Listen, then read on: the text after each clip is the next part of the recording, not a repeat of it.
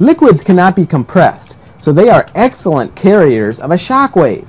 Dr. Smith is filling a glass bottle almost to the top with water. He is then going to strike the top of the bottle with a rubber mallet. The rubber mallet compresses the air inside the narrow neck of the bottle, and this shock wave travels to the water and increases the pressure on the water. Since water cannot compress, this force instantly gets equally distributed to all parts of the water in the bottle. Since the bottom of the bottle has a large surface area, the force is enhanced at the bottom of the bottle, and the bottom pops out. If you want to try this demonstration of surface area, be sure to take all necessary safety precautions.